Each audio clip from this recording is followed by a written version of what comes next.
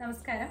ഞാൻ ഡോക്ടർ എല്ലാ Mary jobs എന്റെ സ്കൂൾ കാലഘട്ടത്തിലൊക്കെ ഞാൻ കുറച്ച് ബുദ്ധിമുട്ടിയിരുന്ന ഒരു പ്രശ്നമാണ് ഈ വായിൽ വായ്പുണ്ണ് വരിക. അതിനെ മൗത്ത് അൾസേഴ്സ് എന്ന് പറയും അല്ലെങ്കിൽ ഓറൽ അൾസേഴ്സ് എന്നും പറയും. അപ്പോൾ ഇത് വന്നു കഴിഞ്ഞാൽ വളരെ ബുദ്ധിമുട്ടാണ്. ഒരു രണ്ടാഴ്ച ഒക്കെ എടുക്കും ഇത് പോവാനായിട്ട് നല്ല വേദനയായിരിക്കും. അതിന്റെ ഇടയിൽ നമ്മൾ ഏതെങ്കിലും ഒരു എരിവുള്ള എന്തെങ്കിലും കഴിച്ചു കഴിഞ്ഞാൽ മതി നമ്മുടെ ജീവൻ പോകും കാരണം അത്രയ്ക്ക് നീറ്റലായിരിക്കും. അപ്പോൾ അത് മാത്രമല്ലാണ്ട് ഞാൻ ഇടയ്ക്ക് വെച്ചിട്ട് ഈ വായയുടെ ഈ ഒരു തൊലി ഭാഗം കടിക്കുകയും ചെയ്യും. അപ്പം അത് കാരണം എനിക്ക് ഇടയ്ക്ക് വെച്ചിട്ട് മൗത്ത് അൾസേഴ്സ് വരാറുണ്ട് കേട്ടോ. ഞാൻ മാത്രമല്ല നമ്മളെല്ലാവരും ജീവിതത്തിൽ ഒരിക്കലും ആശയെങ്കിലും അനുഭവിച്ചിട്ട് നല്ലൊരു എക്സ്പീരിയൻസ് ചെയ്തിരിക്കുന്ന ഒരു പ്രശ്നമാണ് ഈ മൗത്ത് അൾസേഴ്സ് അല്ലെങ്കിൽ വായ്പുണ്ട് ഈ ചിലവരിൽ വായ്പുണ്ട് അടിക്കടി വരും. വിത്തിൻ ആഴ്ചകളുടെ ഗ്യാപ്പിൽ തന്നെ ഒരെണ്ണൊന്നും ആയിരിക്കില്ല. വായ നിറയെ അതായത് ഒരു അഞ്ചാറെണ്ണം എന്നുള്ള രീതിയിൽ കുറച്ചും കൂടി സിവിയർ ആയിട്ടുള്ളവരിലൊക്കെ കണ്ടും വരുന്നുണ്ട്. അപ്പൊ ഇത് വന്നു കഴിഞ്ഞാൽ നല്ല ബുദ്ധിമുട്ടാണ് നമുക്ക് എല്ലാവർക്കും അറിയാവുന്ന കാര്യം കൂടിയാണ്. അപ്പൊ ഈ മൗത്ത് അൾസേഴ്സ് വരാനായിട്ട് പ്രധാന കാരണം എന്ന് പറയുന്നത് നമ്മൾ കഴിക്കുന്ന ഭക്ഷണമാണ്. ചിലപ്പോൾ നമ്മൾ കഴിക്കുന്ന ഭക്ഷണത്തിൽ ആവശ്യമുള്ള വിറ്റമിൻസ് ഇല്ലാത്തത് കൊണ്ട് നമ്മുടെ ശരീരം തന്നെ നമുക്ക് കാണിച്ചു തരുന്ന കുറച്ച് സിംറ്റംസ് ആണ് ഈ മൗത്ത് അൾസേഴ്സ് ഇനി വിറ്റമിൻസ് മാത്രമല്ല നമ്മുടെ ഗട്ട് ബാക്ടീരിയാസ് അതായത് പ്രോബയോട്ടിക് പ്രീബയോട്ടിക് കാര്യങ്ങളിലും ഇതുമായിട്ട് വളരെ കണക്റ്റഡ് ആണ്. ഇനി ചിലപ്പോഴൊക്കെ ഒരു ഈ ജി ആറിന്റെ അല്ലെങ്കിൽ ഐ ബി എസ് പോലത്തെ അസിഡിറ്റി പ്രശ്നങ്ങൾ കാരണം നമുക്ക് ഈ മൗത്ത് അൾസേഴ്സ് വരാറുണ്ട്. ഇനി ഈ മൗത്ത് അൾസേഴ്സിന്റെ കൂടെ തന്നെ ചിലപ്പോൾ സ്കിൻ ഡിസോർഡേഴ്സും വരാം. അല്ലെങ്കിൽ ഒരു ഫംഗൽ റിലേറ്റഡ് ആയിട്ടും ഈ മൗത്ത് അൾസേഴ്സ് കാണുന്നുണ്ട്. അപ്പൊ ഇതുകൊണ്ടൊക്കെയാണ് ഈ പറഞ്ഞ കാര്യങ്ങൾ കൊണ്ടാണ് ഈ മൗത്ത് അൾസേഴ്സ് മെയിൻ ആയിട്ട് വരുന്നത്. അപ്പോൾ ഇത് ഏതൊക്കെയാണ് എന്നുള്ളതും എന്തൊക്കെ ഭക്ഷണങ്ങളാണ് കഴിക്കേണ്ടത് എന്നുള്ളത് നമ്മൾ ഈ വീഡിയോയിൽ പറയുന്നുണ്ട്. കുറച്ചൊന്ന് വെയിറ്റ് ചെയ്താൽ മതി. ഒരു ഒരു പോയിന്റ് കൂടി ഞാൻ അതിന്റെ കൂട്ടത്തിൽ ആഡ് ചെയ്യാം. ഈ മൗത്ത് അൾസേഴ്സ് വരുമ്പോൾ തന്നെ ചിലപ്പോൾ അത് റിലേറ്റഡ് ആയിട്ട് വരുന്ന വേറെ കുറച്ച് പ്രശ്നങ്ങളാണ്. തലവേദന മൈഗ്രെയിൻ ഭക്ഷണം കഴിക്കുമ്പോഴുള്ള ബുദ്ധിമുട്ട് നെഞ്ചരിച്ചിൽ പുളിച്ച് തീട്ടൽ ചില ആൾക്കാരിൽ സ്കിൻ ഡിസോർഡേഴ്സും ഇത് റിലേറ്റഡ് ആയിട്ട് അസോസിയേറ്റഡ് ആയിട്ട് കാണിക്കുന്നുണ്ട്.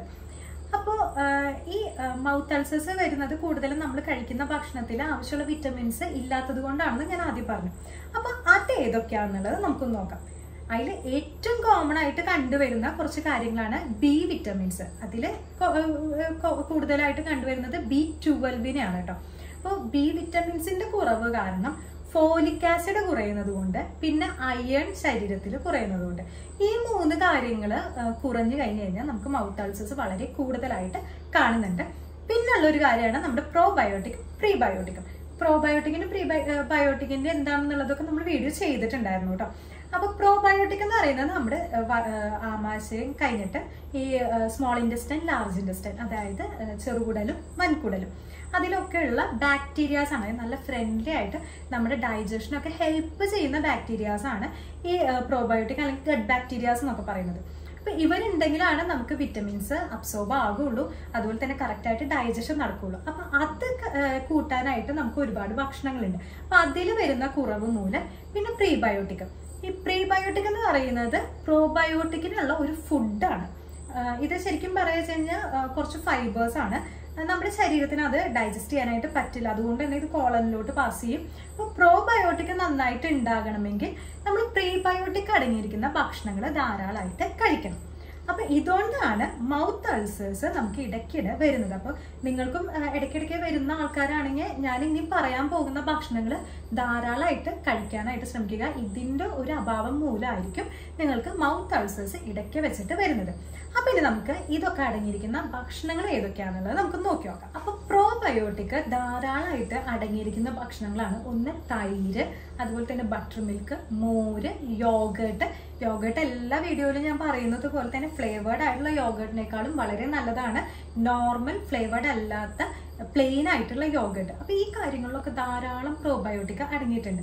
അതുപോലെ തന്നെ പ്രോബയോട്ടിക് കൂട്ടാനായിട്ട് സഹായിക്കുന്ന കുറച്ച് ഫുഡുകളാണ് ഫെർമെന്റഡ് ആയിട്ടുള്ള ഫുഡ് മെയിൻ ആയിട്ട് നമ്മുടെ പഴങ്കഞ്ഞി അതുപോലെ തന്നെ ഈ ഇഡലി ദോശ കാര്യങ്ങൾക്കൊക്കെ നമ്മൾ ഒരു മാവ് ഫെർമെന്റേഷൻ പ്രോസസ്സ് തന്നെയാണ് കഴിയുന്നത്. പിന്നെ അപ്പാണെങ്കിലും ഈ പാലപ്പം കാര്യങ്ങളൊക്കെ ആണെങ്കിലും ഒരു ഫെർമെന്റേഷൻ പ്രോസസ്സ് അതിൽ നടക്കുന്നുണ്ട്. പിന്നെ ഉള്ള ഭക്ഷണമാണ് നമ്മുടെ അച്ചാറ് കാര്യങ്ങളൊക്കെ.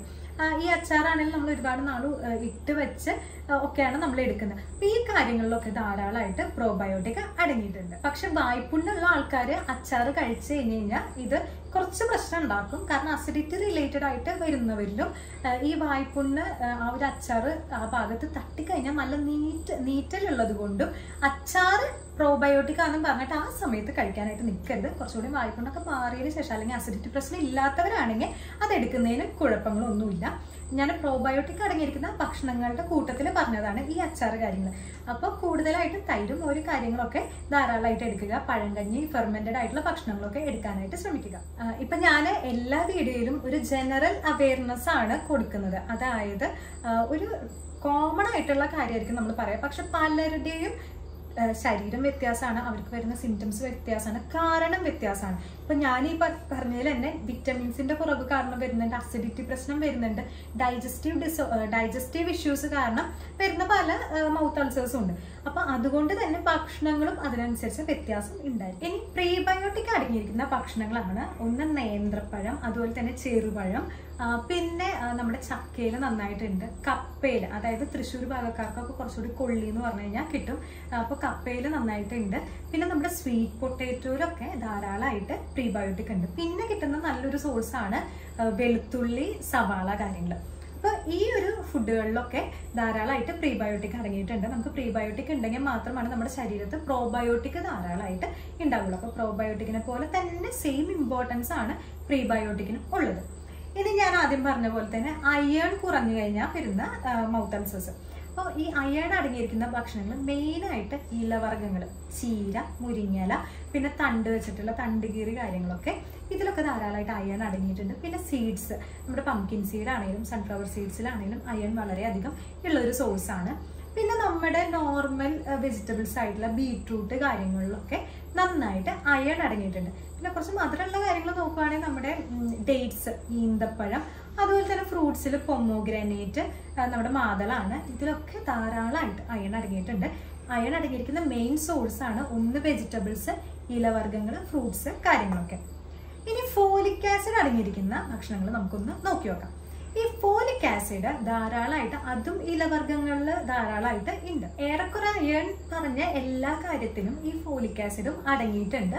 ഫ്രൂട്ട്സിലാണെങ്കിലും വെജിറ്റബിൾസിലാണെങ്കിലും പിന്നെ മെയിനായിട്ട് ഈ സിട്രസ് ഫ്രൂട്ടുകൾ അതായത് ഓറഞ്ച് നാരങ്ങ പിന്നെ പപ്പായയിൽ നന്നായിട്ട് അടങ്ങിയിട്ടുണ്ട് കേട്ടോ.